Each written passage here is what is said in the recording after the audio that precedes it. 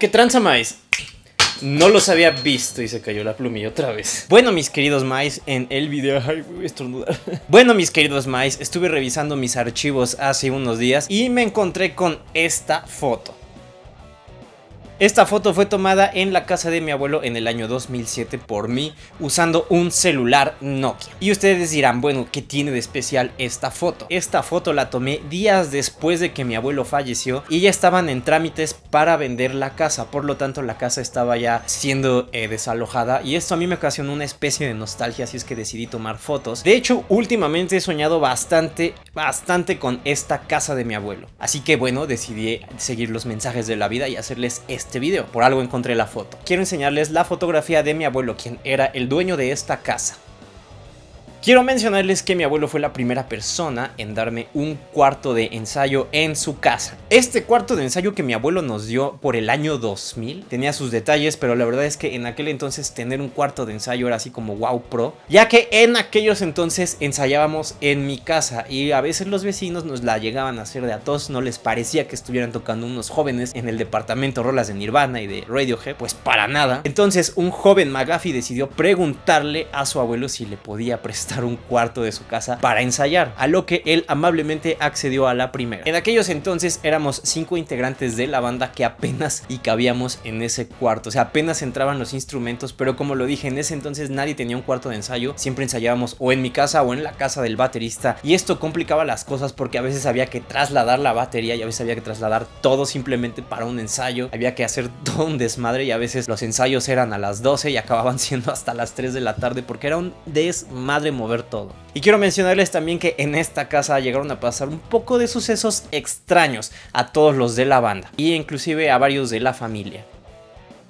Cerca del año 2003, o sea, ya hace un buen de tiempo, estábamos terminando de ensayar y mi abuelo, como era costumbre, nos solía pedir pizzas de la colonia. Qué chido, eso estaba bien chido, eso, sí lo recuerdo bien. El baterista que se llama Sergio, al cual mando un gran abrazo y un gran saludo, se quedó en la cocina comiendo solo, mientras el bajista y yo nos quedamos en el cuarto recogiendo algunas cosas. De eso lo recuerdo perfectamente. Cuando llegamos nuevamente a la cocina para ver cómo estaba Sergio, él estaba bastante asustado y nos estaba diciendo, ustedes acaban de, estar por aquí o dónde estaban, porque acabo de ver una sombra pasar. Quiero mencionarles que no había absolutamente nadie más que nosotros tres en ese momento. Eran cerca de las 10 de la noche, me parece. Y de hecho nosotros bien sorprendidos le dijimos, no, ni siquiera estábamos aquí. Al principio pensamos que él nos estaba poniendo una especie de broma o nos estaba jugando como bromas, porque él era muy, pues haciendo como de repente bromas y cosas así. Pero cuando vimos que estaba bien asustado dijimos, no, este, este Mike creo que sí acaba de, de ver algo que quién sabe qué fue. Y cuando yo era más pequeño, yo creo que tenía unos 8 o 9 años, yo me quedé a llegar a dormir en la sala de, mi abuelo ahí. Y recuerdo es que algunos aparatos se llegaban a prender solos. Y esto nada más pasaba en la madrugada. Esto era algo que a mí realmente me sacaba muchísimo de donde yo no podía creer. Pero había aparatos que se prendían solos. Y en otra ocasión también, una vez un primo se quedó a dormir en esa misma sala. Y cuenta él que sintió que se le subió el muerto. Y pudo sentir claramente, él dice, una presencia. Normalmente los ensayos de la banda terminaban alrededor de las 10 de la noche, a veces 11.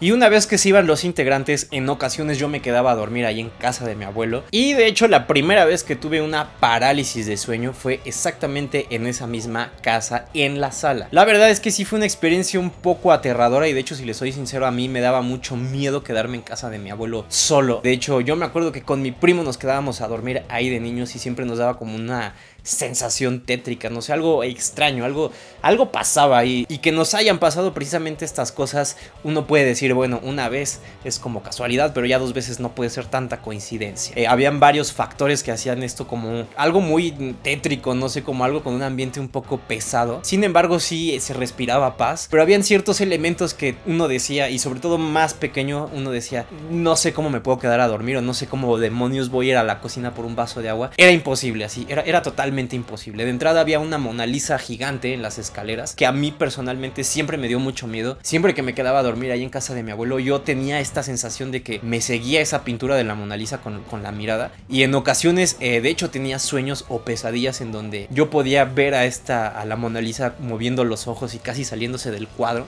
No sé, bastante raro el sueño. Yo lo considero así una pesadilla. Y además, eh, mi abuelo siempre dejaba prendido el radio, eh, por esto porque le gustaba tener como algún sonido que estuviera por ahí, ahora sí lo entiendo, siempre dejaba prendido el radio y entonces siempre estaba las noticias de la madrugada y todo esto como que creaba un ambiente muy a la Silent Hill, yo creo que por eso me gustan esos videojuegos y me recuerdan muchísimo a casa de mi abuelo porque en realidad se podía sentir una atmósfera muy pesada, pero bastante extraña, como que no me gusta que me guste, está raro ese pedo. Y pues bueno, justo cuando murió mi abuelo, unos días después estaba tomando un par de fotos a la casa y ya revisándolas con mi celular me percaté y esto quiero preguntárselos a ustedes más y quiero que ustedes me den su opinión. ¿Es verdad o no que se alcanza a distinguir una cara en donde está marcado el círculo de la foto? Vean bien.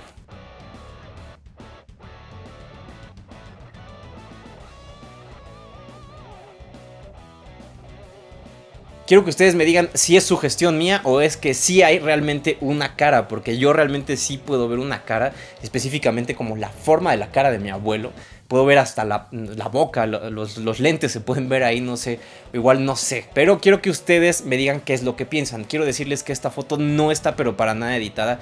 Esta foto recordemos que es del año 2007 y fue con un celular Nokia de esos de lucecitas. Ya tiene muchísimo tiempo, esto fue lo, la mejor calidad que podían tomar los celulares, las fotos en aquellos entonces. De hecho, esta fotografía cuando yo se la enseñé a mis amigos de la banda de aquel entonces, se quedaron sorprendidos y pudieron reconocer la cara de mi abuelo. O sea, no he sido el único, o no soy el único que imagina cosas. Y este correo se lo envié a mis primos y algunos familiares para que vieran y me dieran su punto de vista si es que todavía podían ver y percibir lo que yo estaba viendo. Y la pregunta del millón es, ¿ustedes qué opinan más? ¿Les ha pasado algo similar? Me gustaría que ustedes me dijeran qué es lo que piensan de todo esto. Ahora es momento de hablar de la guitarra maldita. Está maldita. Ay, no es cierto. De hecho, cuando Sergio el baterista vio esta foto, él me dijo, claramente estoy viendo la cara de tu abuelo. Y justamente eh, por aquellas épocas también había fallecido el papá del baterista Sergio. Y justamente había tomado él una fotografía enfrente del televisor. Había un partido de Pumas América, no recuerdo muy bien, pero tomó la foto justamente en aquel momento al lado del televisor. En esta foto aparecía el rostro de su papá y él nos enseñó esta foto y clarísimo se veía que era, pero la foto la, cara de su papá. Esto es bastante extraño porque realmente a Sergio y a mí siempre nos llegaron a pasar como esta, estas cosas medio paranormales o cosas que no simplemente no te sabes explicar, pero nos llegaron a pasar y nos siguen pasando. Yo soy mucho de la idea que eh, siempre un tipo de energía se queda impregnado en el lugar en donde estás. Y sinceramente no sé lo que pasó en esta foto, no sé si sea una coincidencia o no, pero yo al menos les puedo decir que sí alcanzo a percibir un rostro muy parecido al de mi abuelo. Quizá sea imaginación mía, quizá no, quizá sea algún error de fotografía, nunca lo vamos a saber, pero sin embargo quería compartirles esta fotografía con todos ustedes. Se me hizo bastante interesante porque es casa de mi abuelo, fue el primer lugar en donde yo tuve un cuarto de ensayo y mi abuelo obviamente me apoyó bastante durante todo este show de la música, de hecho junto con mis papás fueron las personas que me apoyaron con esto. Y ojalá pudiera ver mis videos. y un detalle muy curioso de donde sale esta supuesta cara es que justo en ese lugar mi abuelo siempre se sentaba específicamente en ese lugar porque en ese lugar era donde estaban todos sus tequilas. A mi abuelo le gustaba mucho el tequila, era bastante tequilero, por lo tanto, pues como era el jefe de la familia tenía ese, ese lugar ahí. Entonces ya son bastantes coincidencias, pero ustedes tienen la última palabra. Sin embargo, mis queridos maes, eh, las cosas extrañas nunca me dejaron de suceder, claro que no. De hecho, para los que han seguido mis videos desde hace muchísimo tiempo, y por muchísimo tiempo me refiero a los primeros videos, pues bueno, yo aquí en esta casa tengo un cuarto de ensayo donde realmente bastantes cosas extrañas me han pasado. Inclusive en un video de los primeros, no recuerdo en cuál, se movieron unos lentes que estaban ahí, de hecho fueron los lentes del hipster que se movieron, y yo me quedé así como no sabía qué pensar, no sabía qué, decir. Solamente me hice un poco güey, pero dije, creo que acabo de ver mal. Pero no, tiempo después me fui dando cuenta que en ese cuarto donde yo estoy ensayando sí pasan cosas muy, muy extrañas. Inclusive también en otro de los videos donde creo que fue una respuesta a Yayo Gutiérrez hace muchísimos años, una video respuesta, eso ya es muy viejo. En ese video específicamente eh, yo les mostraba cuando había grabado unas guitarras, creo que las de Zelda, un cover que hice ya hace tiempo también, eh, había captado una pequeña cacofonía, no cacofonía, es psicofonía.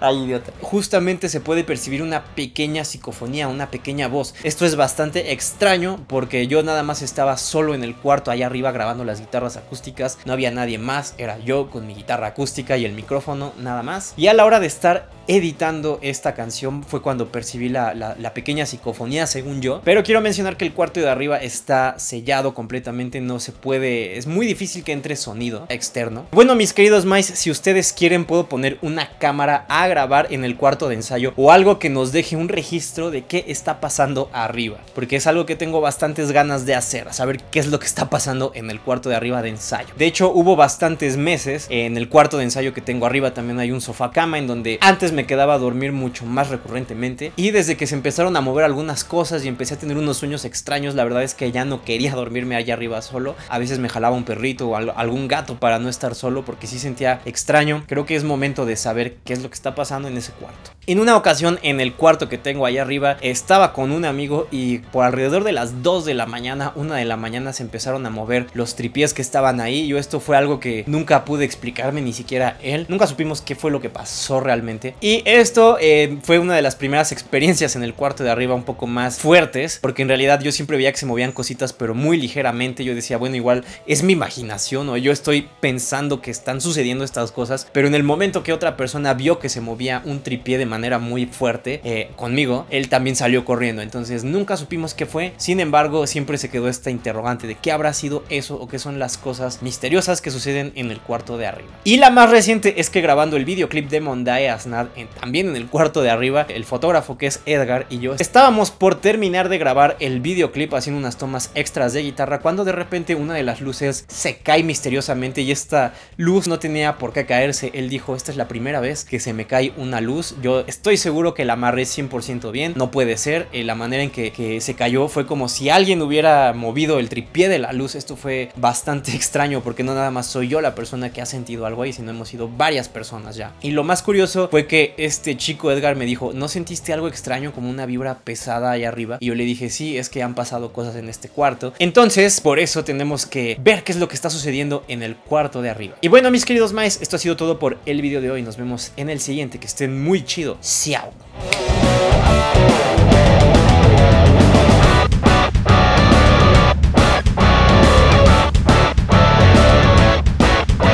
Este no, este no es el canal. Canal. Canal equivocado.